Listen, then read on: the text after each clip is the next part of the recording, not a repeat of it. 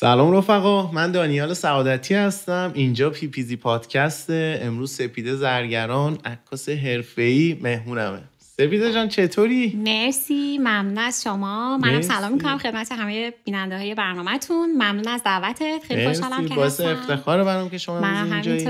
خیلی وقت بودش که من هی دوست داشتم با شما صحبت بکنم. هی یه اتفاقی میافتاد پیش نمیومد من می‌رفتم سفر شما می‌رفتی سفر دقیقا بعد دیگه نشد. همه چی خوبه؟ همه چی عالی چی کارو می‌کنین الان؟ مشغول چی؟ من یه شرکت تبلیغاتی اومدم ترکیه ثبت کردم و فعلا دیگه دنبال همین کار تبلیغات و مدیا. یعنی مثلا ما ذاتا اینجوریم که یه برندیه که هیچ فعالیتی توی مدیا نداشته و اصلا نمی‌دونه که چطور باید بازاریابی بکنه. ما اون برند رو باش قرارداد میبندیم و صرف تا صد کار مدیاشو انجام میدیم. عکاسی تصویربرداری استوری. سایت و هر چیزی که لازم داره. صرف تا صد انجام میدیم. دقیقا.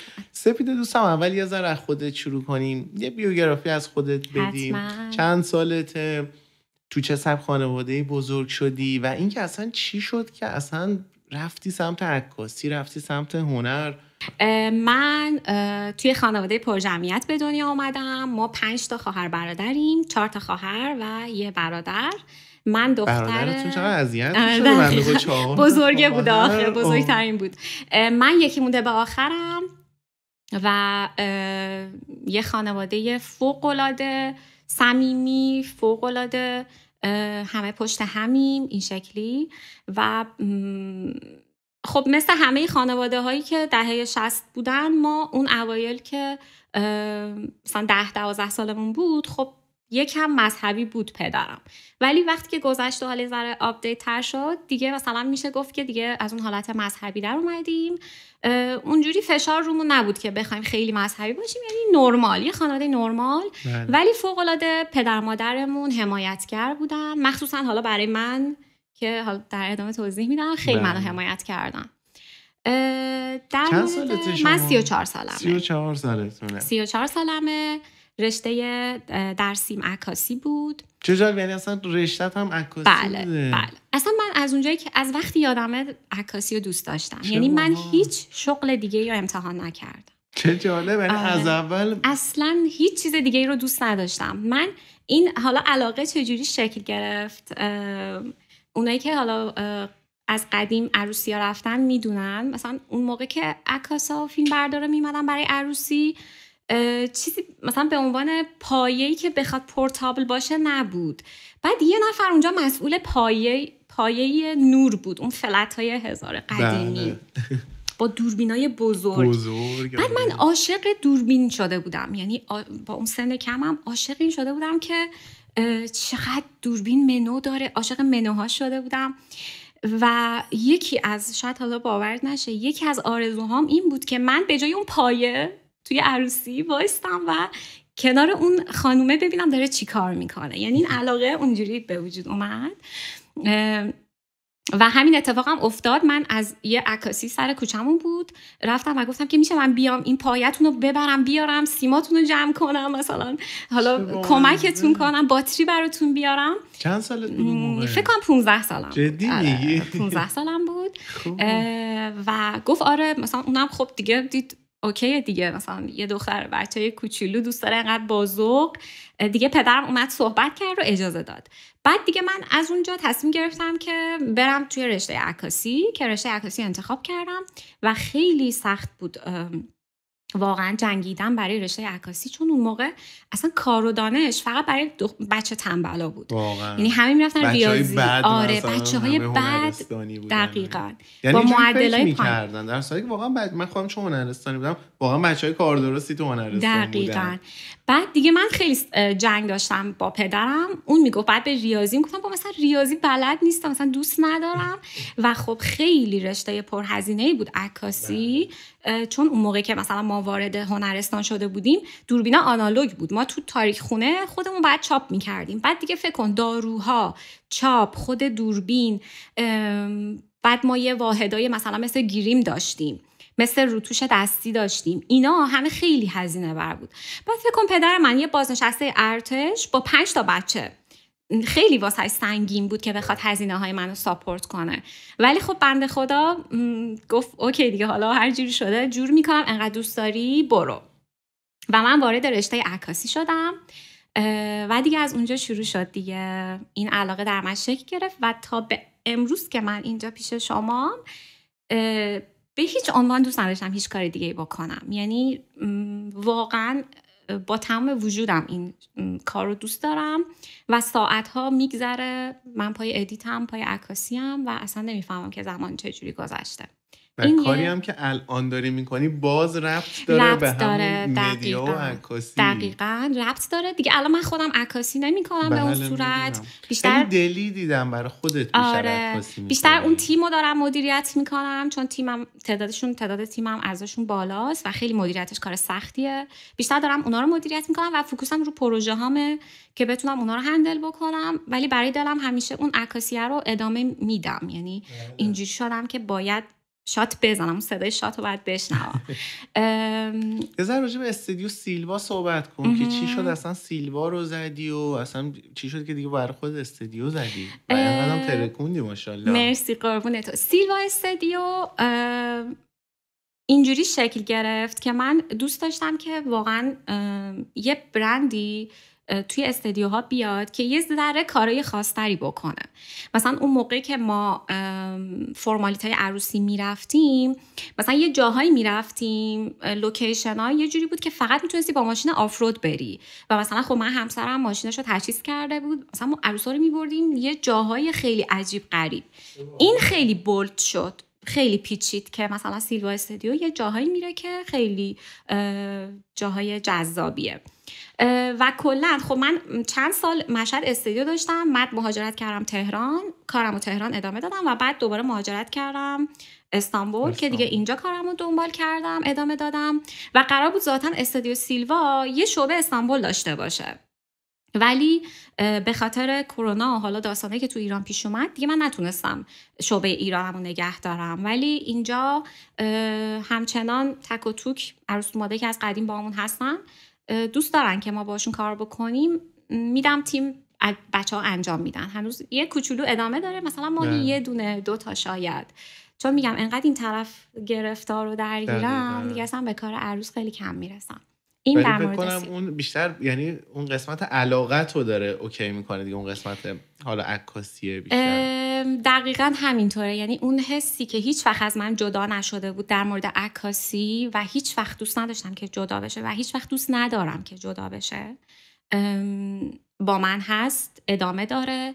حتی اگر دوربین نداشته باشم با موبایلم سعی می‌کنم عکس بگیرم. یعنی حس می‌کنم که این یه, یه قسمتی از وجودمه که این هیچ وقت جدا نمیشه از من. و تا آخر عمر این این هنر با منه و در من رشد کرده در من به وجود اومده و اصلا دارم نمی‌خواد که تغییرش بدم. این حالا خودت چون عکاسی می‌دونی که این چه حسیه و چون با روح آدم بازی می‌کنه بله دقیقا. و من این خیلی این حسی که به این کارم دارم و خیلی خدا رو شکر می‌کنم که از اول یه مسیری رو به من نشون داد خداوند که فهمیدم آقا این کار مال منه. نرفتم ده تا شغل عوض کنم بعدش بفهمم. اصلا اون اول افتادم توی خود دل داستان و تا انتها هم پیش رفتم دیگه. تا جایی که آره. تونستم پیش رفتم. همینش خیلی واسم جالب بود. چون اون زمانی که شروع کردی و اصلا هنرستانی بودی حالا درس تموم شده اصلا همه مثلا اینجوری بودن که مثلا می‌خوای عکاس بشن حرفایی که به خودم می‌زنم حالا مطمئنم به شما یه چیزایی دیگه هم می‌گفتن چون شما یه ذره قدیمی تر زمانین که مثلا می‌خوای عکاسی سه در چهار کنی مثلا می‌خوای عکاسی پاسپورتی انجام بدی اصلا کسی باور نمی‌کنه از این هنر بشه پول در آورد و یهو دنیا عوض شد. اصلا همه چی دیگه اومد رو عکس و ویدیو. دقیقا. اینی که گفتی پاسپورت حالا من می‌خوام اینو بگم. من اولین کاری که توی عکاسی کار عملی بود که انجام می‌دادم من بعد هنرستانم. کارآموزی می‌رفتم سر کوچه هنرستانم یه استدیو سه در چهار بود. اولین کار رسمی من اون موقع من هشت هزار تومن حقوق می‌گرفتم ماهیانه. خب خیلی خفن بود دیگه آره، آره اولین کار رسمی من این بود که عکس های سه در رو برش بزنم با اون دستگاه. های کاتر آره. و اصلا بعدم نه... یعنی اصلا ناراحت نبودم آره. چون می‌دونستم که این چیزیه که من بند بند وجودم قراره که بهش وصل بشه و شاید حالا عجیب باشه. من شیشه های مغازه رو پاک می‌کردم. برای اون مدیر اونجا چایی می آوردم اینجوری بود که من گفته بودم باید هر جوری شده اینو این کار رو یاد بگیرم و بله. هر بهایی که لازم بود بابتش می پرداختم موقع و پرداختم و این کار رو انجام دادم. خیلی اینجوری بود که هیچ کس نمی‌فهمید که نمی‌دونست که بابا قراره این کار یعنی پیش بینی نمی‌تونست کسی بکنه که دنیا قراره که روی عکس بچرخه. و اون موقع مثلا ما کار عروسی انجام دادیم دیگه خفن ترین فیلد این بود که مثلا تو بله. عکاس عروسی بشی. یعنی خیلی چیز خفنی بود که تو بری تو عروسی ها و مثلا عکاسی کنی یا نهایتش مثلا تبلیغاتی عکاسی بکنی. و واقعا هم در اینجور اصلا هزینه نمی‌کردن آدم ها بله.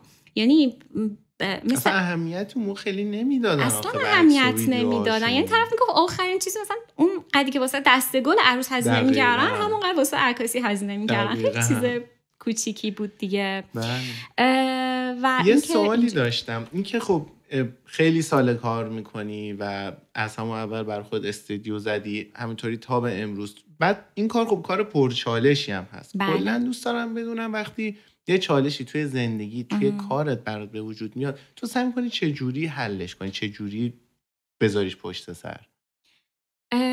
چالش کاری یا چالش شخصیتی؟ کدومه؟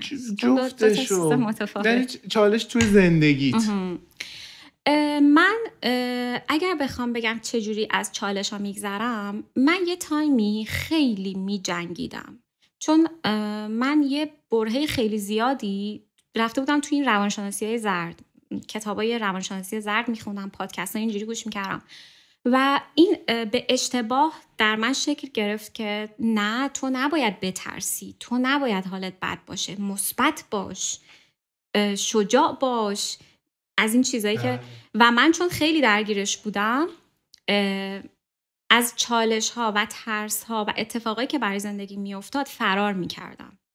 و اینجوری بودم که نه حالا مثلا فکر کن داشتم از استرس میمردم بعد می‌گفتم نه مثبت باش قوی باش. خب این فکر بود دیگه. چون بله. من از ریشه باید اون سیستم رو درست می‌کردم. ببین دنی جان من راهکاری که چه صدای برد صداهایی که مثل صدا رعد و برق اینجا دیگه ببخشید. من راهکاری که خیلی به من کمک کرد برای مواجه شدن با چالش ها و ترس ها مخصوصا. چون ببین من یعنی هیچ کس نمی‌تونه بگه که نه من از هیچی نمیترسم. بله. اصلا آدم کاملی وجود نداره. همه آدم ها در کنار این حسا هست که شخصیت شکل می‌گیره. باید بترسی باید گریه کنی باید ناراحت بشی باید استرس داشته باشی باید چالش رو ولی قبول کنی که اینا هست. یعنی من این کارو کردم. من گفتم آقا الان سپیده ترسیدی؟ اوکی. قبلا هم ترسیده بودی. چی شد؟ هیچ اتفاقی نیفتاد. ازش گذشتی. الان هم می‌تونی بگذری. الان استرس داری؟ فلان اتفاق افتاده برات؟ اوکی. قبلا هم این اتفاق افتاده بود. چی شد؟ ازش گذشتی. یعنی اون ایمانه و امید به روزهای آینده و امید به اینکه میگذره. این به من کمک می‌کنه توی چالش ها که توی اون بخش نمونم. توی اون ترسه نمونم. توی اون چالش نمونم. و هی ذهنم میگه که ببین قبلا هم همینجوری بوده چی شد؟ هیچ قبلا هم این چالش رو داشتی یا بدترش رو داشتی یا چی شد؟ هیچی. هی مثال می‌زنم از زندگی قبلی خودم از چالشه که برام اتفاق افتاده به ذهنم فکت میدم. چون ذهن با فکته که آروم میشه.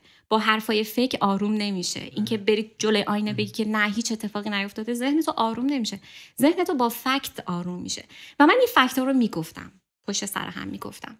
اگر لازم بود گریه می‌کردم. اگر لازم بود ناراحت بودم. اگر لازم باشه میترسم. ولی time ش به اندازه است. توی اون احساس ترس نمیمونم. توی اون احساس گریه نمیمونم. گریه می‌کنم تموم میشه. میترسم تموم میشه. از اون چالش ناراحتم به خاطر اون موضوع. به اندازه time ش ناراحتی رو می‌کنم سوگواری رو می‌کنم و بعدش پروندهش رو میبندم.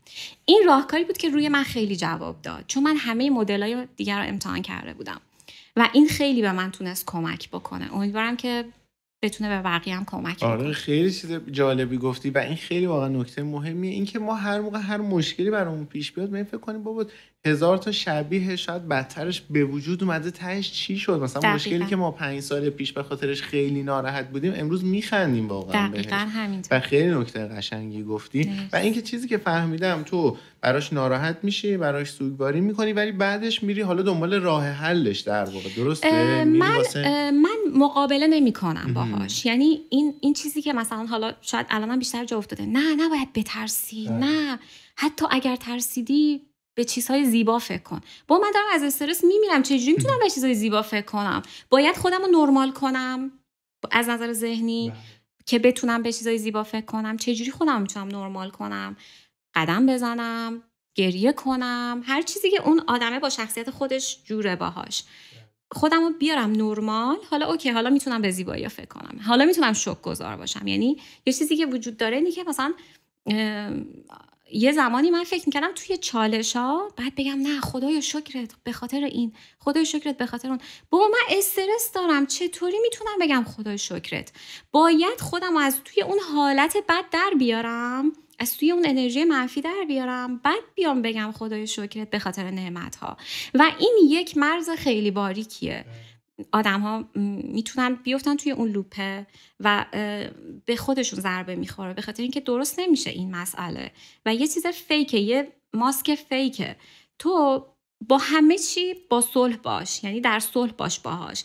از ترست استقبال کن از چالش ها استقبال کن گریه کن ناراحت باش به اندازش. بعد دیگه برو پروندهشو ببند برو سراغ این که حالا اوکی الان باید چی کار بکنم؟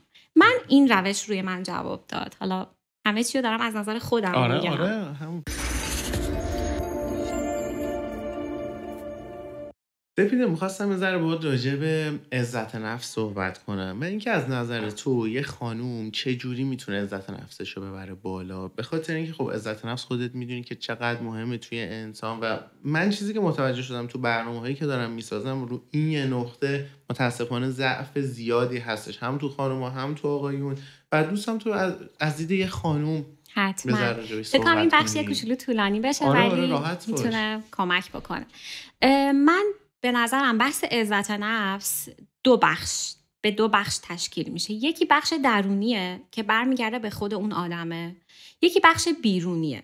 یعنی این دوتا اگر با هم دیگه نباشن یه جای کار میلنگه. مثال سادهش اینه که تو یه کسی رو می‌شناسی که فوق العاده تو کارش متخصصه و تواناست ولی خودش رو نمی‌تونه پرزنت بکنه.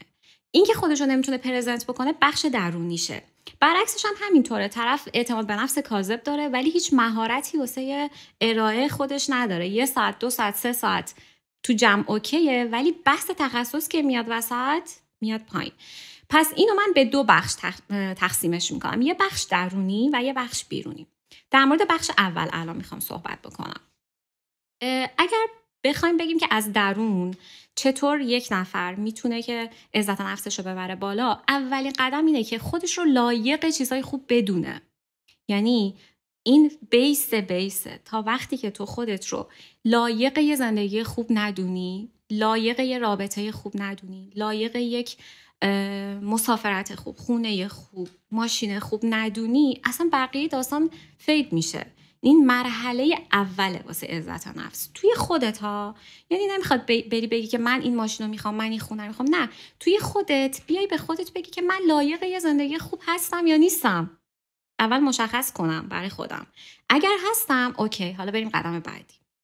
قدم بعدی چیه؟ یعنی در واقع احساس لیاقت. احساس لیاقت در خودت به وجود بیاری. این قدم اوله. قدم بعدی اینه که توی بخش بیرونی بری دنبال یه مهارتی یه تخصصی یه چیزی توش اوستا بشی توش استاد بشی توش بهترین بشی. این خیلی می‌تونه به عزت نفس کمک بکنه. و این این دوتا دوتاشون قدم های اولن. اینکه تو بری سمت یک کار بیرونی که تخصصت مهارتته و چیزی که توش دوست داری که در آینده استاد بشی از این طرف هم روی خودت کار بکنی که آقا من به عنوان یه خانوم لایق یک زندگی خوب هستم. همونطوری که این همه آدم دارن خوب زندگی می‌کنن منم لیاقتش رو دارم. این احساس لیاقت چیزی که خیلی ها بهش توجه نمی‌کنن. و این بیس این این بیس قضیه است این بیس داستانه. آقا من لایق زندگی خوب سفرهای خوب خرج کردن خوب من هرچی دلم بخواد حداقل بتونم برای خودم بخرم. اول تو خودتو لایق بدون بعد برو قدم هایی که لازمه واسش بردار که یکیش میشه این که بری توی تخصص خودت بری, بری متخصص بشی تو اون کاری که دوست داری. و این دوتا با هم دیگه وقتی که چفت میشه تو هم یه کاری رو داری. از بیرون می‌تونی ارائه بدی و هم از درون به اندازه کافی لایق هستی که یه زندگی خوب برای خود بسازی. که اعتام... یعنی این دوتا با هم دیگه باعث میشه که تو اعتماد به نفس داشته باشی عزت نفس داشته باشی. و بعد قدم های بعدی که حالا خیلی طولانی میشه میشه رابطه. اینکه من لایق یک زندگی خوب هستم یه رابطه خوب هستم لایق یک پارتنر خوب هستم هستم یا نیستم؟ این احساس لیاقت تو همه چی بیسته تا تو استارتشو نزنی یعنی عین استارت ماشینه. تا استارتشو نزنی دیگه بعدش یه جای کار میرنگه در رفتن جلو. یعنی همطوری که میری یه جای کاری می‌بینی میلنگه. بله. بعد که برمیگردی می‌بینی آقا من اصلا رو, رو این بخشم کار نکردم. نه. من لایق انقدر پول نیستم اصلا. من انقدر پول رو ببینم شک میشم. یا مثلا این ماشین اگه یه روزی بخوام بخرم من اصلا نمی... تو ذهنم نمی گنجه.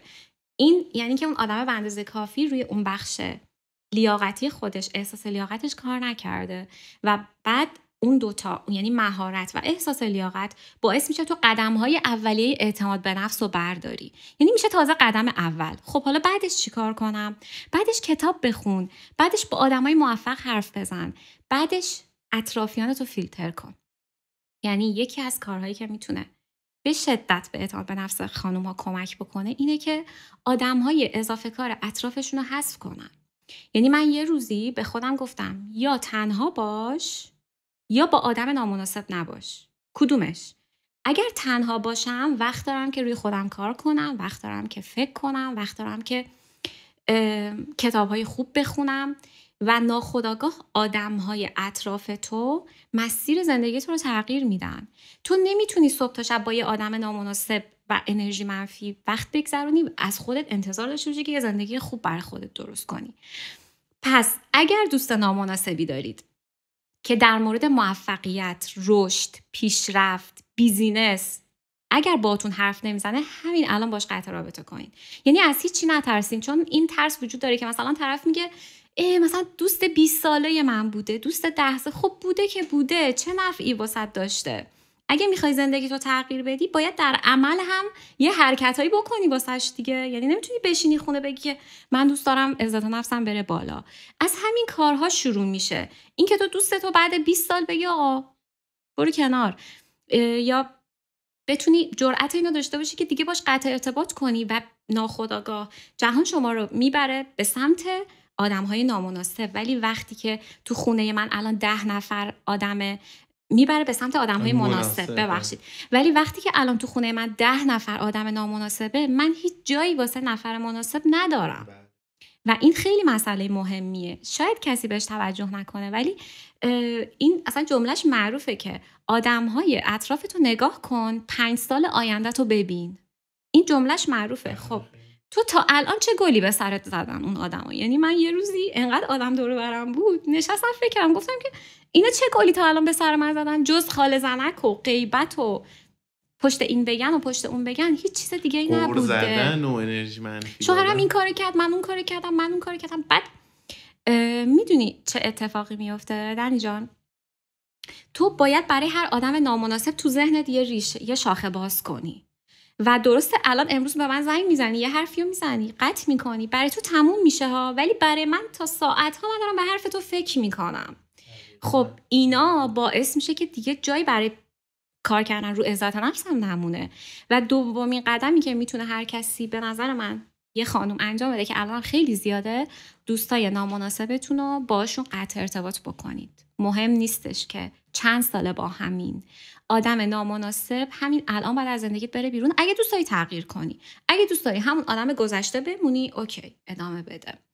و این یه مثل یه معجزه میشه واسهشون واقعا. این حتما خودت هم اینو بهش رسیدی این موضوع. خیلی تاثیر می‌ذاره روی ذهنیتت روی افکارت روی بردن مسیر زندگیت به سمتی. فکر کن مثلا من بشینم صبح تا شب در مورد ایده ها در مورد بیزینس در مورد رشد کارت با حرف بزنم.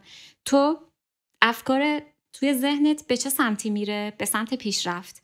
ولی فکر کن من بیام باهات همش در مورد این اون در اون این کار کرد اون این کار کرد اونو دیدی اینجوری شد اونو دیدی اونجوری شد. دقیقا. چه اتفاقی واسه ذهن تو میفته؟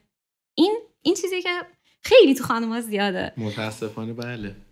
و من می‌تونم بگم که خیلی از وقتی که فهمیدم اینو آدم هایی که اطراف منن فقط در مورد کار با من حرف می‌زنن. خیلی جالبه. من اصلا دوستی ندارم که بشینم باهاش غیبت کنم. اصلا دوستی ندارم که بشینم در مورد دیگران باش حرف بزنم. و هر کسی که میاد سمت من اگر هم خودش نخواد من میبرمش به سمت business به سمت کار. مثلا میگم ببین چرا این page و نمی‌زنی؟ چرا اون کارو نمی‌کنی؟ این عکس تو بذار انقدر ویو می‌گیره. یعنی در من یک عادت شده. چون می‌دونی در مورد دیگران حرف زدن خیلی کار راحتیه و به اندازه کافی آدم هست که دارن در مورد دیگران حرف می‌زنن. و در... موضوع جذابی این غیبت کردن اصلا. یعنی آدم ها گول چون کار راحتیه. بله. چون خیلی کار راحتیه. اصلا قرار نیست به ذهن فشار بله. بیاد. داری در مورد یکی دیگه حرف می‌زنی دیگه. یعنی اصلا به ذهنت فشار نمیاد. در مورد بیزینس حرف زدن در مورد کارهای خوبی که می‌تونی برای کارت انجام بدی حرف زدن در مورد برندت حرف زدن ایناست که کار سختیه. و اصلا هم شیرین نیست. مگه بله. اینکه آدمشو اهلشو پیدا کنی. در مورد دیگران حرف زدن کار راحتیه. ولی اگر الان بخوای یک قدم برداری به سمت عزت نفس بالاتر اینه که آدم های نامناسب اطراف تو دیلیت کامل پاک کنی و فکرش هم نکن. من این کارو کردم تضمین میدم قول میدم. هیچ اتفاقی نمیافته. چند وقت بعد همون آدمای صمیمی یادشون میره که تو اصلا دوستشون بودی. من این کار رو تجربه کردم و دارم حس، حسش کردم و دارم میگم هیچ اتفاقی براتون نمیافته. کات کنید و آدم متوجه میشید که چه اتفاقایی پشت اون در بوده و با بسته شدن با کات شدنش اون اتفاقا سرازیر میشه تو زندگیتون یکی از موارد مهم به نظرم می‌تونه انتخاب آدم های مناسب باشه و خیلی دیگه می‌تونم در مورد این عزت نفس صحبت کنم آره، که آره.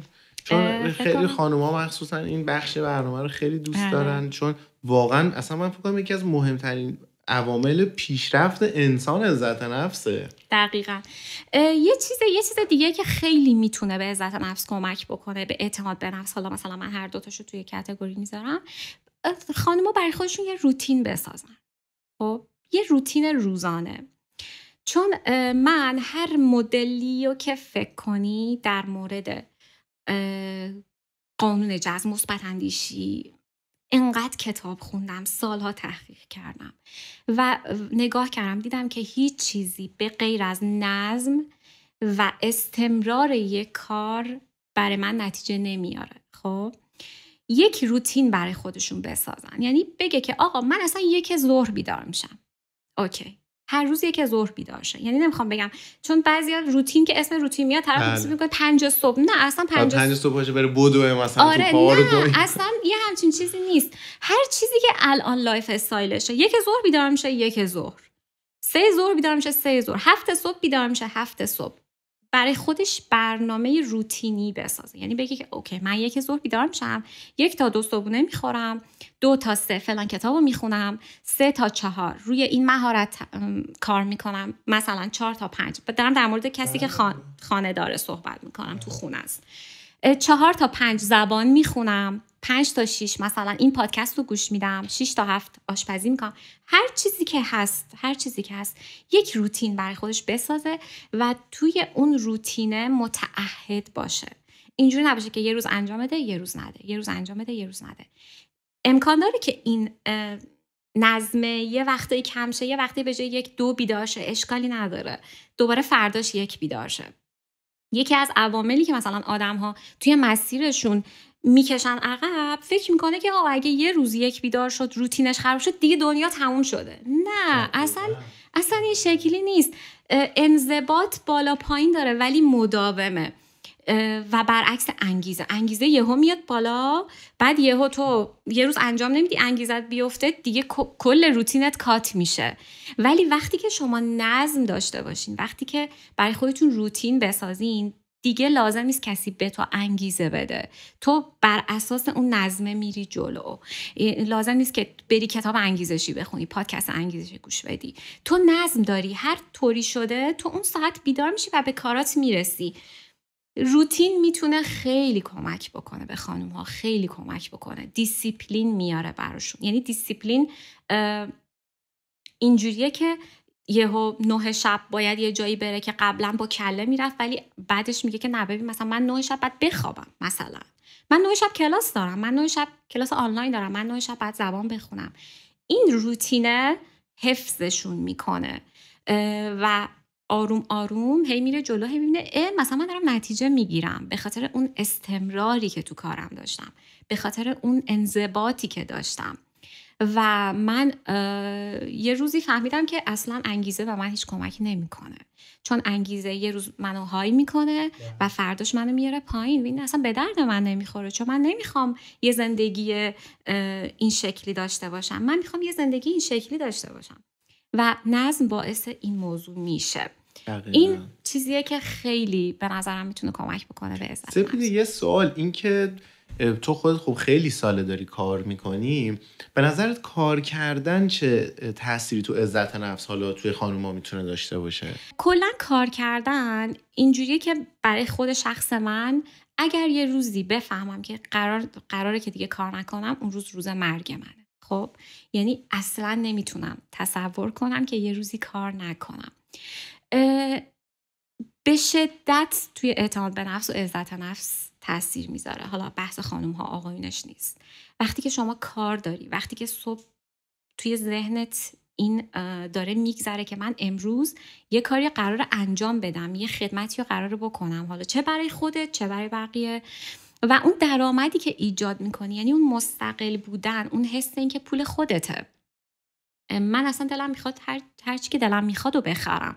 شاید مثلا من دلم می‌خواد من خیلی کلکسیون دفترچه دارم. خب خریدن دفترچه برای من یه چیزی که توجیه مالی اگر قرار بود که از همسرم پول بگیرم یا از پدرم پول بگیرم خب باشه یکی دو تا من دلم می‌خواد ماهیانه صد تا بخرم. خب وقتی که من اون مدیریت آره مدیریت مالی زندگیم دست خودمه حالم خوبه. قرار نیست توضیح بدم به کسی که من عاشق این کارم عاشق خریدن دفترشم تو رو خدا. می‌دونی این خود همین که تو رو خدا پول بده مثلا من می‌خوام این چیز رو بگیرم ده درجه اعتماد به نفس اون آدمه رو میاره پایین به نظر من. چون تو باید یه چیزی رو توضیح بدی که توضیحی براش وجود نداره. و بابت اون توضیحه تو پول می‌خوای. این کار کردنه نه تنها می‌تونه حالا اون بخش مالیش که استقلال مالی داری توی جامعه خودتو داری پریویو می‌کنی. یعنی توی جامعه خودت رو داری با افراد مختلف کانال, کانال می‌زنی آدم های جدید می‌بینی آدم های موفق می‌بینی. تو حتی کارمند بانکم باشی تو طول روز یه آدم یه عالمه آدم خیلی موفق و پولدار می‌بینی دیگه. خب بیا از هر کدوم از اونها یه چیز کوچولو یاد بگیر. کلا کار کردن خیلی می‌تونه تاثیر بذاره. حالا وقتی که صحبتی پیش اومد اینم بگم خیلی دوست دارم اینو بگم. اونایی که هنوز شروع نکردن به کار کردن شاید این برخلاف هر چیزی که شنیده باشین باشه. ولی من از یه نویسنده خیلی خیلی معروف که اصلا جایزه گرمی داره ذاتا اصلا موسیقی دانه دریک اگه اشتباه نکنم توی کتاب عمل خلاقه. خیلی این کتاب خوبه توصیه می‌کنم حتما بخونن بیننده هاتون توی این کتاب میگه که صرفا اینکه شما یه شغلی رو دارین دلیل بر این نمیشه که رسالت شما هم همون شغله. یعنی اگر تو یه شغلی داری خیلی خودتو اذیت نکن که من رسالتم این نیست. مثلا من به یه چیز دیگه علاقه دارم به موسیقی علاقه دارم. الان چرا کارمندم؟ خب؟ خیلی قشنگ میگه. چون همه جا شنیدیم که نه برو دنبال علاقت. هر جوری شده از اون علاقه پول در بیار. در صورتی که طرف امرار معاشش رو مونده یعنی نمی‌تونه هزینه هاشو ساپورت بکنه. وقتی که تو تحت فشاری توی هزینه چطور می‌تونی به کار رویاییت فکر کنی؟ وقتی که تو پول اجاره خونه رو نداری چطور می‌تونی ذهن خالی بذاری برای اینکه به کار رویاییت فکر کنی؟ این برخلاف هر چیزی که شنیدیمه. چون از وقتی که من یادمه همه شنیدیم که برو علاقت رو پیدا کن از علاقت پول در بیار. خب اوکی. اگر تو یه منبع درآمدی داری که نگران هزینه های زندگیت نیستی این کارو بکن. خیلی هم خوبه. یعنی گل و زدی. اگر که تو تو کار مورد علاقت باشی و پول هم در بیاری. ولی اگر هنوز گیره هزینه های زندگیتی اشکالی نداره. نصف روز تو برو سر یه کاری. برای هزینه هات برای هزینه های زندگیت بقیه time روز تو بذار برای کار رویاهات. دو, دو ساعت سه ساعت از time تو بذار برای کاری, کاری که بهش علاقه داری کار رویاییته این اینو من خیلی دوست داشتم بگم چون فکر نمی کنم جایی صحبتش شده باشه. بله. و واقعا هم حرف قشنگ و درستیه. تا وقتی که تو درگیر هزینه های زندگیتی بعد می‌دونی چه اتفاقی میفته مثلا طرف که من که عکاسی دوست داشتم الان چرا؟ پس درآمد ندارم از عکاسی. بعد چه اتفاقی میفته؟ هزینه زندگیش هم میمونه. مجبور میشه دوربینی که خریده رو بفروشه کلا این کار رو ببوسه بذاره کنار و بره توی کار کارمندی که حداقل می‌دونه انقدر حقوق داره. و این اشتباهه. یعنی کسی نبوده که یاد بده بهمون. بگه که آقا کی, کی گفته که دقیقا باید همون کاری که داری می‌کنی و بعد ازش پول در بیاری؟ تو توی هزینه هات موندی. تو نگران اول ماهی که اجاره بدی چطور ذهن چه ذهنی می‌تونه تو رو مثلا ذهنت خالی باشه که بتونه تو کار رویاییت باشه؟ OK برو اون کارتو انجام بده 8 ساعت حقوقتو بگیر بذار کنار هزینه های زندگی تو تامین بکنه دو ساعت سه ساعت تو یه عالمه time دیگه داری. دو ساعت سه ساعت از time دیگه تو بذار برای عکاسی برای نقاشی برای هر چیز دیگه ای اینو من خیلی دوست داشتم تو برنامه آره و خیلی نکته مهمیه چون که دقیقا آدم وقتی اون هزینه های زندگیشو نتونه بده اصلا مغزش انقدر درگیر میشه که اصلا به کار رویاییش اصلا نمی‌تونه فکر کنه نمی‌تونه خلاقیتی توی اون کار داشته باشه و دقیقا همین چیزیه که میگی. یعنی یه درآمدی داشته باشه که بتونه با خیال راحت به اون کارش بپردازه تا اون کار رو انقدر رشد بده که دیگه مجبور نشه اون کاری که حالا به خاطر پول صرفا داره انجام میده رو انجام بده. اون از عکاسی پول در بیار. چهار تا مشتری بگیر. پجتو بزن. خودتو نشون بده. روی برندت کار بکن. کارمندم هستی. اوکی. چه اشکالی نداره. درآمد تو داری. داری در کنارش کار مورد علاقت هم می‌کنی. ده تا مشتری که گرفتی مثلا من همیشه ده عددیه که به نظرم می‌تونه عدد خوبی ده تا مشتری که گرفتی از هر کدوم هر مبلغی که گرفتی مبلغش حتی مثلا من میگم 70 درصد حقوقت هم اگر بود یعنی حقوقت 30 درصد بالاتر از اون مبلغه بود. ولی اون 30 درصد اون دیگه جایی که باید ایمانتو نشون بدی و کات کنی اون کاره رو. حتی اگه 60 درصد 70 درصد هم بود دیگه استعفا بده. و بیا فوکوستو بذار 100 درصد روی کار خودت که عاشقشی دنبالش دنبالشی که پیشرفت بکنی و کاری رویاهاته. این این نظر منه مخصوصا برای الان بچههایی که تازه می‌خوان شروع به کار بکنن. و طرف مثلا به من دایرکت میده میگه بابام هزینه نمی‌کنه که من دوربین بخرم. به منم گفتن که از مثلا برو دنبال کار رویاهات. من هیچ کار دیگه غیر عکاسی نمی‌تونم بکنم. چرا؟ می‌تونی بکنی. برو خودت پول دوربین تو جور کن. برو خودت یه کار دیگه ای داشته باش و در کنارش اونم ادامه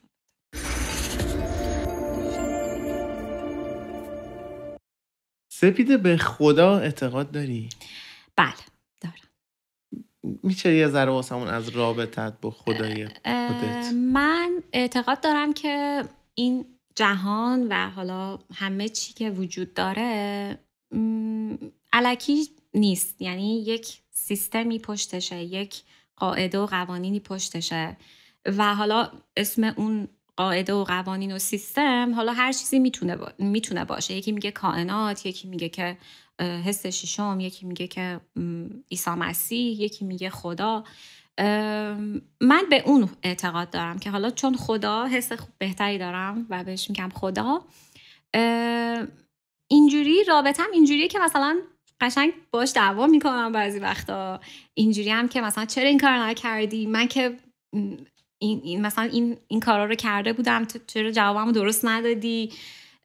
و یک آرامشی همیشه در من وجود داره که هیچ خبری نیست.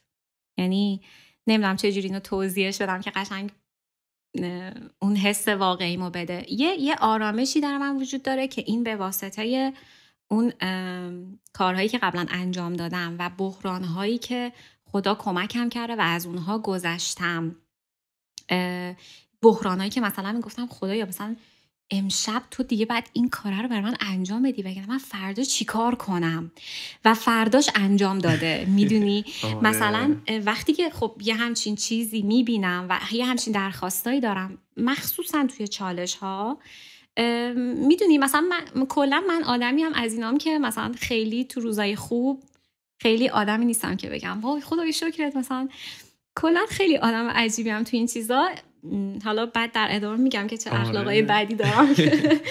ولی توی بحران ها توی یعنی اون موقعی که حالم خوبه میگم خب آردی دنیا همینه. دنیا باید همین شکلی باشه. دنیای من باید خوب باشه. چه باید قشنگ باشه. مثلا شوک گذاری آنچنانی نمی کنم که مثلا بیام بگم واو مثلا بیام بشینم شوک گذاری کنم. مثل حالا این سیستمی که هست بله. و بقیه انجام میدن. یعنی میگم توقع بالاست دیگه. از خدا یعنی میگم که اگه من اینا رو دارم نرماله. باید به من می‌دادی. چون من باید به من اینا رو می‌دادی. ولی وقتی که بحران میاد دیگه از اون طرف دیگه خیلی دست به دامنش میشم واقعا. و اینجوری هم که مثلا میگم که چرا خب طلبکارم ازش؟ و بهش میگم که چرا این بحران الان باید به وجود بیاد؟ چرا درستش نمی باید درستش کنی. این مکالمه هم این شکلیه. من البته یه نکته رو بگم که بچه ها اشتباه برداشت نکنن. اینکه تو من چیزی که می‌دونم تو خودت به اندازه خیلی زیاد آدم خوبی هستی. بنده خوبی برای خدا هستی. که حالا میگی مشروع گذاری نمی کنم و اصلا توقعم اینه که چیزه به خاطر اینکه تو چیزایی که درسته رو انجام میدی یعنی بچه ها سوء برداشت واسهشون نشه که. آره من همین نکته رو گفتم که بچه ها فقط بدونن که چیزه. دقیقا همینطوره. یعنی اون جاهایی که من باید از سمت خودم کار درست رو می‌کردم و توقعی که اون داره دیگه من کار درست رو انجام دادم. مثلا من میشه یه نکته رو بگم. حتما. این که چیزی که با هم داشتیم صحبت می‌کردیم تو گفتی من همیشه تو قراردادهای استادیوم اینجوری بودش که آقا اگه قرارداد به هر دلیلی کنسل شه خب مثلا اوکی یه ضرر و زیانی شما باید بگیر و این چیز خیلی قانونی و بله. طبیعی و بله. نمی‌دونم شرعی و همه چیش اوکیه بله. ولی گفتی هیچ وقت حالا این کارو نکردم یعنی بله. یعنی هر قراردادی کنسل شده من نیومدم از اون عروس آمدی که حالا دوتا جوونن دوتا که سنگ دارن یه زندگی رو می‌سازن بیام ضرر زیان بگیرم و این خب خودش یعنی به نظر من اینو ثابت می‌کنه که تو وظایف خودتون نسبت به خدا داری انجام میدی. حالا این یه بوده مثلا کوچیک‌ترشه دیگه. دقیقا آره. همینطوره. مثلا من من خب چون تحقیق کردم من خیلی کتاب می‌خونم. خیلی آره. کتاب می‌خونم خیلی تحقیق می‌کنم. خیلی دوست دارم که اون چیزی که به من شخصیت من نزدیکه رو از رابطم با خدا داشته باشم. یکی خب شخصیتش کاملا مذهبیه و توی حالا چیزهای دیگه خدا رو پیدا می‌کنه. من دوست داشتم خدای خودم رو پیدا کنم نه خدایی که دیگران دارن پرزنت می‌کنن. و من از این خدای خودم نتیجه گرفتم خیلی خب؟ یعنی آنالیزایی که از خودم انجام میدم رفتارهایی که داشتم. مثلا من اینجوریم که به هر طریقی توی هر بحرانی باشه خیلی با خودش صحبت می‌کنم. یعنی مثلا بهش میگم که بشین حرفای منو گوش بده.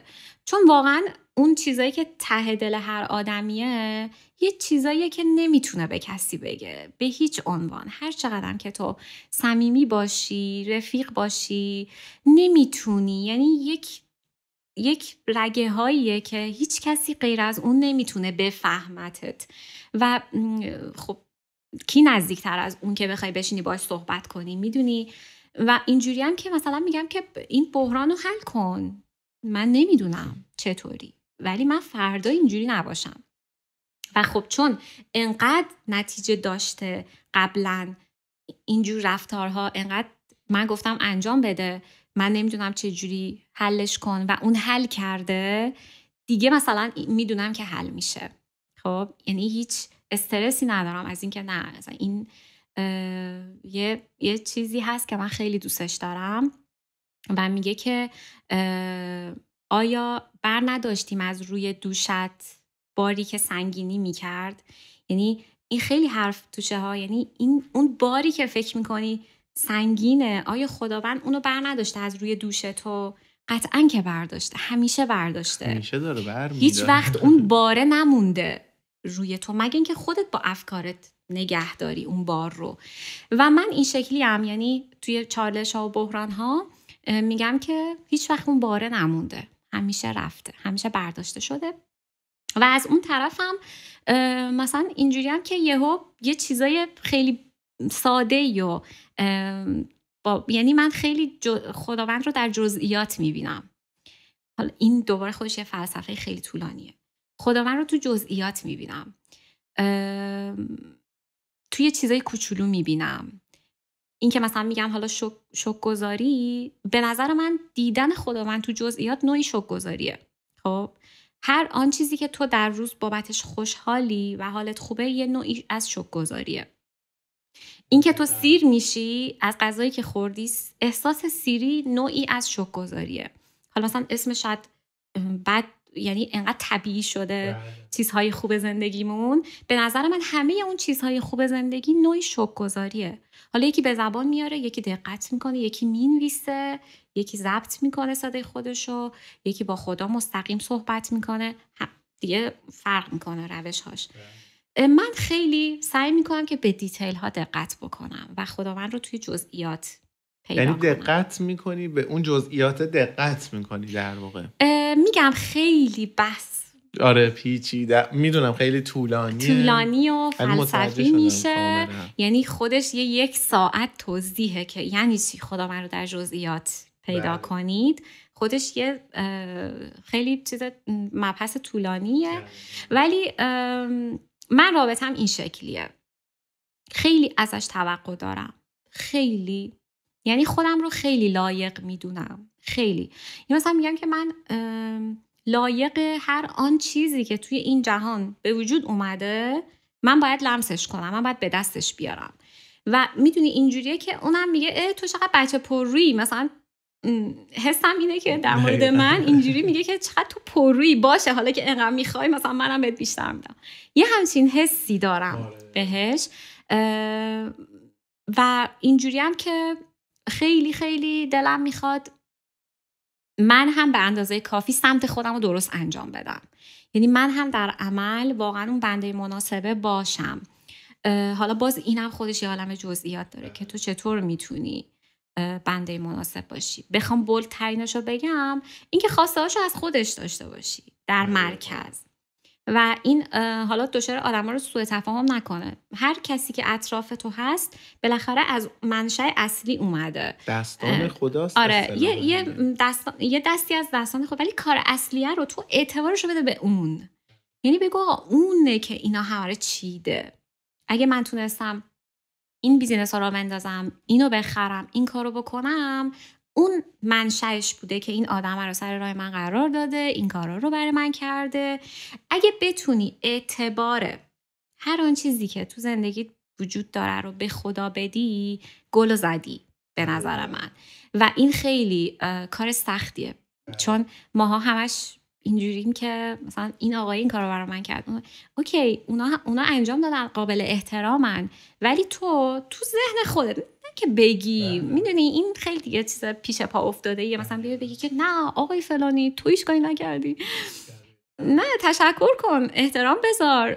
ولی, ولی بدون اصل کاری کی بوده آره که باعث تو ذهنت اعتبار آره اعتبار رو بده به اون. بله.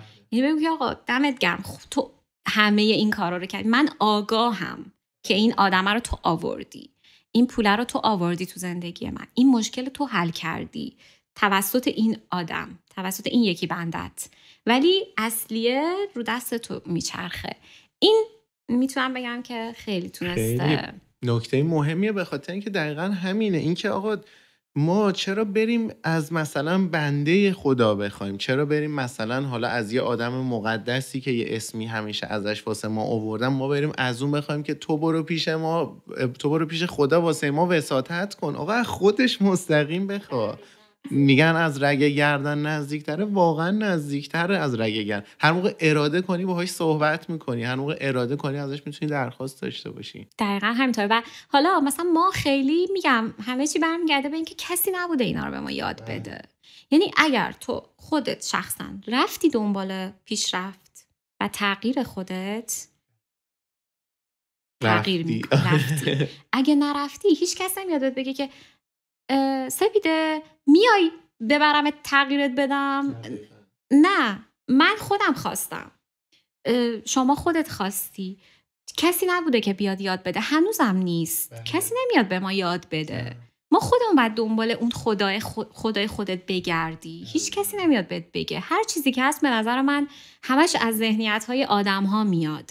تو تا وقتی که خدای خودت و خودت شخصا نچینی سیستمشو تو ذهن خودت گپ داری.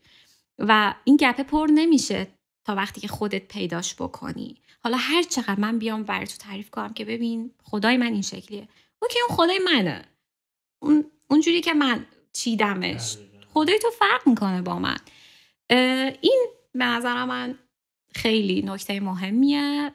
من خودم یه مدتیه که به این نتیجه رسیدم. من خب دو سه سال خیلی دیگه جدی دارم رو خودم سعی می‌کنم که کار بکنم رو درون خودم. حالا قبلش به سعیمو می‌کردم ولی راهمو نمی‌تونستم پیدا کنم. الان یه دو سه سالیه که راهمو تونستم پیدا کنم. واسه همین اصلا این پادکست رو تشکیل دادم که آقا شاید این حرفی که شما داری می‌زنی به قول خودت نمیشه. شاید اینجا یعنی تو تایم نمیگنجه که شما بخوای کامل راجبش صحبت کنی.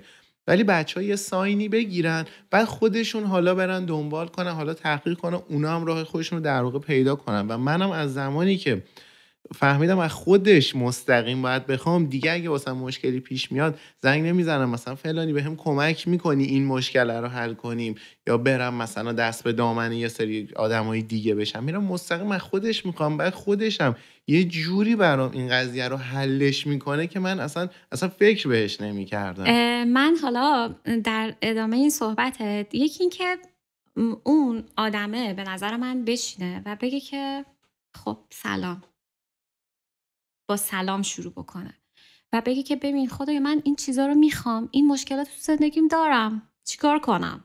خب؟ یعنی اون آرامش صحبت کردنه اینکه تو حرف می‌زنی خودتو تخلیه می‌کنی و می‌دونی که شنیده میشی. این بله. این باید حتما باشه دیگه. این ایمانی که می‌دونی شنیده میشی. این خودش خیلی می‌تونه کمک بکنه به کسی که تا حالا خیلی ارتباط این شکلی نداشته. یعنی قدم اولش اینه بیا بگو من امشب می‌خوام باید صحبت کنم. این مشکلات رو دارم این خواسته ها رو دارم. اصلا هم ازش نپرس که خب چی کار کنم. فقط خودتو تخلیه کن. خودتو بریز بیرون. و این آرامشه رو تجربه کن. این قدم اوله. چون شاید مثلا یه سری بگن که شما داری نماز چی حرف می‌زنی؟ ما اصلا نمی‌دونیم چی آره. میگین قدم اولی بشین باش صحبت کن. بدون هیچ قضاوتی. بشین خودتو تخلیه کن. بگو آقا من برنامه های زندگیم اینه. اینا رو دوست دارم تجربه کنم. این کشورها رو دوست دارم ببینم. این کارا رو قرار بکنم. لایق این هستم که از این نعمت های تو استفاده کنم. تمام این قدم اول.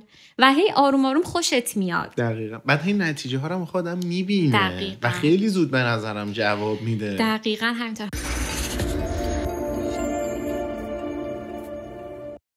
حالا سپیده بخوام یه ذره حالا هوا رو عوض کنم و اینکه می‌دونم که کلی بچههایی که حالا یا عکاسی رو دوست دارن یا عکاسن یا اول راهن یا وسط راهن یا آخر راهن دارن این برنامه رو نگاه می‌کنن. الان یکی بخواد شروع کنه یکی که علاقه منده به عکاسی یا شروع کرده حالا اول راهه.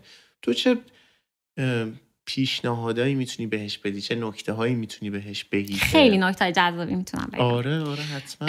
من به نظر خودم یعنی چون من خیلی شخصیت آنالیزگری دارم من هر رفتارم و هر reaction م و خودم با خودم خیلی آنالیز می‌کنم. که ببینم درست عمل کردم نکردم کار اشتباهی کردم نکردم. یعنی من خیلی از time روزم و خودم رو دارم آنالیز می‌کنم. چون تا آنالیز نکنم نمی‌تونم یه پله پیشرفت کنم. وقتی که من خودم رو آنالیز کردم توی عکاسی که هنوزم دارم آنالیز می‌کنم و هی این داره این چون عشقمه داره ادامه دار میشه یه نکته ای رو فهمیدم که خیلی می‌تونه کمک بکنه. مخصوصا به اونایی که می‌خوان توی این رشته کار بکنن. این که با چشمت عکس بگیر. خب؟ یعنی الان دوربین نیست. هیچ هیچ دوربینی ندارم. چشمم رو تمرین دادم که الان اون من از همین یه تیکه که نشستیم من می‌تونم هزار تا عکس خوب برات بگیرم. خب؟ چرا؟ چون با چشمم هر لحظه یه چیزی رو شات زدم. یه نوری خورده اون گوشه لایتش اومده این طرف اون کتابه سایه داده اومده رو مجسمه. این تو ذهن من یه عکس شد خب؟ و من فهمیدم که چقدر دارم این کار رو تو روز انجام میدم. یعنی من اینجوری هم که مثلا میشینم نگاه می‌کنم مثلا میرم توی کافه مثلا میشینم میدم که وای اون آدمه نور خورده بهش. قهوهش اون روی داره مثلا فکر می‌کنه. اگه دوربین من بود چه شاتی می‌تونستم بگیرم. خب؟ و این یه تمرین فوق العاده است. برای کسی که می‌خواد شروع بکنه. یعنی صبح که اخواب بیدار میشی ویندوزت میاد بالا و می‌خوای زندگی تو شروع بکنی سعی کن چشمتو بکنی ویزور. و بگی که چون خیلی ها مثلا الان فکر می‌کنن که OK مثلا همه چی دیگه دوربین و تجهیزاته. نه تو چشمتو بار بیار. قدم اول اینه. تو چشمتو فکر کن چشمت دوربینه. یه shot گرفتم دو shot گرفتم سه shot گرفتم امروز ده تا shot گرفتم. خب؟ این مرحله مرحله که دیگه توانایی تو میشه. جزوی از وجودت میشه. و اینجوری میشه که مثلا تو مثلا میری یه جا میشینی من مثلا اینجوری هم قشنگ یکی از بیرون منو نگاه کنه اصلا فکر من دیوونه شدم. چون مثلا هر جا رو میچرخه چشمم با پیدا کردن کوچکترین نوری تو هر قسمتی از مکان و زمان باشه هر جایی باشه من دارم با چشمم عکس ثبت می‌کنم و دارم آدم ها رو آنالیز می‌کنم. من الان می‌دونم که تو تو چه زاویه ای صورتت حس خشم میده تو چه زاویه ای حس خوشحالی میده؟ چون چشمم آنالیز می‌کنه همه چیو و این خیلی می‌تونه کمک بکنه به کسایی که می‌خوان شروع بکنن. شروع بکنید با چشمتون شاتر زدن. هر جایی که میری بگد پیدا کن. این یه حالته که این به نظر من عمق هنر توی وجود هر عکاسی می‌تونه این باشه. بله. یه حالت دوم هم داره که تو دوربین تو خریدی همه چیزت حاضره که 90 درصد الان تو حالت دومن. بله. و سوژه میاد تو عکاسی می‌کنی میری. خب؟ این کار جذابیه دیگه کار خیلی اوکیه ولی باز چند سال طول می‌کشه که تو برگردی دوباره با چشم عکاسی کنی. خب یعنی همه فکر می‌کنن راه ورود به عکاسی اینه که یه مدل بگیری با دوربین شروع بکنی ازش عکاسی کردن. اوکی این کار خیلی خوبه. منم این کار انجام دادم. ولی بعد 15 سال به این رسیدم که کاش از اول با چشمم شروع کردم به عکاسی. خب اون کار ساده است. اون کار راحته. اون قدم فیزیکی که می‌تونی برداری. ولی اصل عکاسی از نظر من اون چیزی که با چشمت داری می‌بینی و اصلا مهم نیستش که یعنی من الان مثلا همسرم همیشه به من میگه میگه که یه سطل آشغال قرازه به تو بدن انقدر تو تو ذهنت عکس گرفتی که تو می‌تونی اونو واو یه عکس واو در بیاری. این یه موضوع. دنی جان یکی دیگه عکس ببینن. عکس دیدن عکس خوب ببینن. من یکی از روتینای زندگیم اینه. هنوز که هنوزه. بعد 15 16 سال عکاسی. تازه من کارم هم مثلا کار دیگه تخصصیم. این نیست که هر روز عکس بگیرم. بله. با این حال جزء روتینمه. یعنی باید برم روزی سی تا چهل تا عکس ببینم. خب؟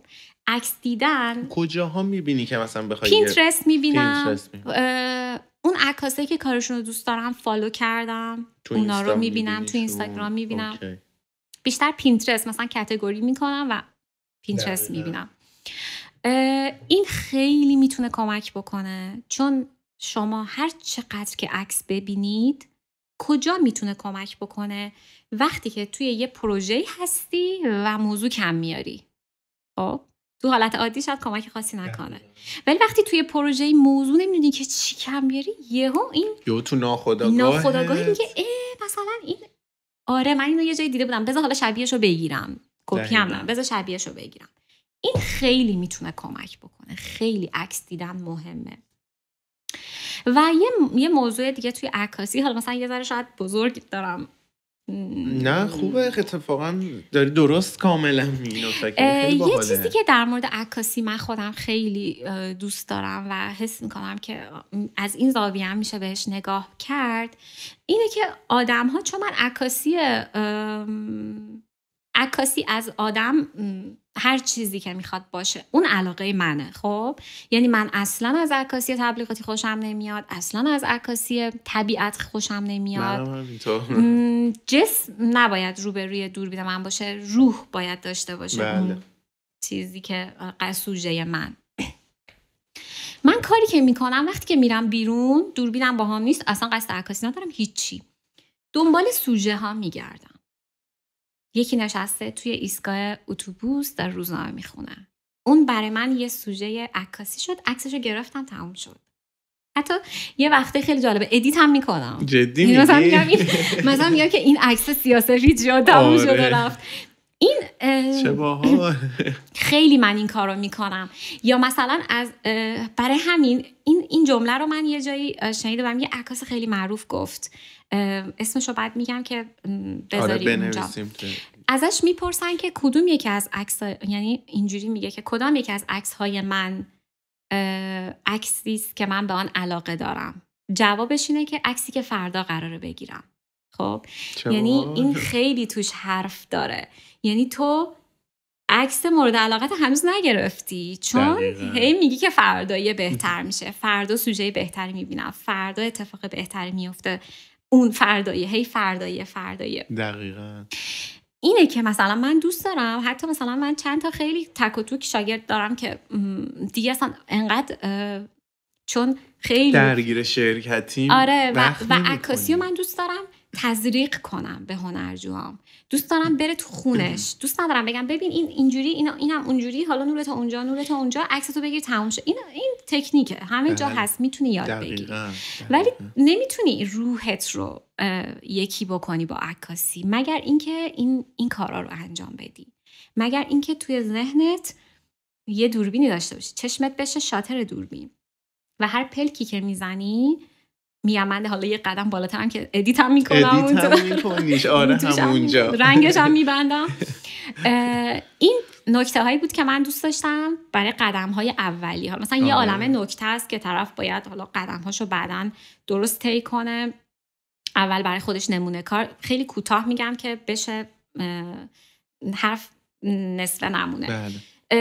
قدم بعدیتون اینه که آروم آروم برای خودتون نمونه کار درست کنید. آقا پسر خالم دختر خالم دختر داییم پدر بزرگم عکس بگیر. همینطوری عکس بگیر عکس بگیر عکس بگیر. اصلا مهم نیست که خوب شده یا نه.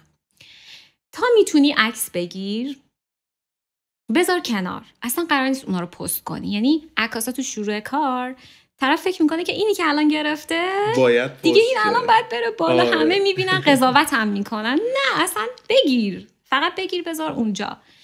این عکس گرفتنه. خیلی مهمه. عکس بگیر عکس بگیر عکس بگیر عکس بگیر. بعد مثلا از هزار تا عکست 20 تا 30 تا دونش اونایی که خودت حالت باش خوبه نه اونایی که بیننده دوست داره. اونایی که حال خودت باهاش خوبه.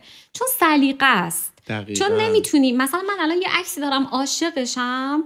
تو میای میگی که این چه افتضاحیه. خب؟ دقیقا. من اونو دوست دارم. من اونو هنر پست صد درصد سلیقه من اونو پست می‌کنم. بله. حتی اگه فوش بخورم خب؟ اونی که خودت دوست داری و حالت باش خوبه رو پست کن. آروم آروم پستات زیاد میشه. مدل هایی که رایگان دوست دنبال عکاسن تو رو پیدا می‌کنن. تو اونا رو پیدا می‌کنی. هی از اون مدلایی که تازه شروع به کار کردن چون اونا هم نمی‌خوان هزینه کنن بله. دیگه عین عکاسا اونا هم می‌خوان نمونه کار واسه آره. درست کنن. تو یه عکاسی نمی‌خوای هزینه کنی اونم یه مدل نمی‌خواد خیلی هزینه بکنه. شماها همدیگه رو پیدا می‌کنین و هی آروم آروم عکسات بیشتر میشه. ادیتیات بگیر حتما. حتما حتما edit یاد بگیر. مثلا تو این دنیای الان که باید edit یاد بگیری. edit یاد بگیر آروم آروم. اون عکسایی که گرفتی هی پست کن بیار بالا قضاوت ها رو فراموش کن خودتو مقایسه نکن. خیلی یعنی خ...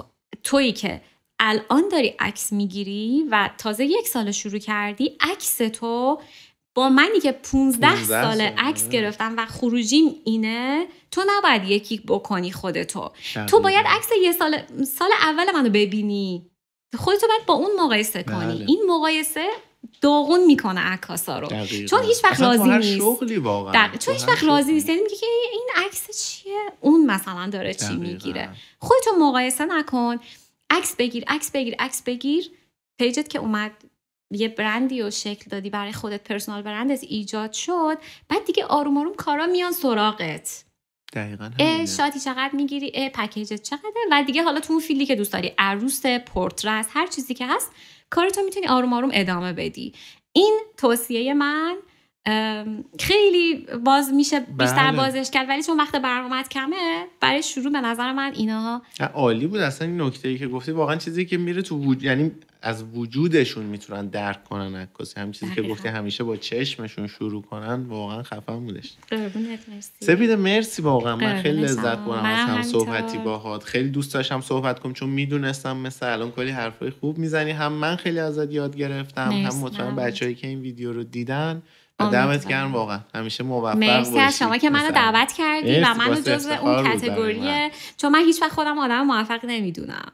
یعنی این همه اون همین آره. چون یادمون میره آره من... چی کارا آره مثلا من امروز می‌خواستم بگم که مثلا چرا اصلا داری میری؟ تو خودت ما خودمون همیشه یادمون آره، میره دیگه. و اگه جایی ننویسیمش موقع من همیشه میگم میگم موقعیتی که ما امروز داریم یه روزی آرزومون بوده. ولی الان که بهش رسیدیم یادمون رفته که مثلا یک سال پیش آرزومون بوده این یا مثلا از بیرون یه کسی می‌بینه مثلا میگه که واو تو چه کار خفنی کردی. بعد مثلا از نظر خودم خیلی کار معمولی کرد واسه همین چون این تو بیشتر من حس می‌کنم از مسیر اون آدمی که اینجوری از مسیر داره لذت بله. می‌بره. بله. دنبال نقطه پایانی نیست و این خیلی اتفاق خوبی می‌تونه برای هر کسی باشه.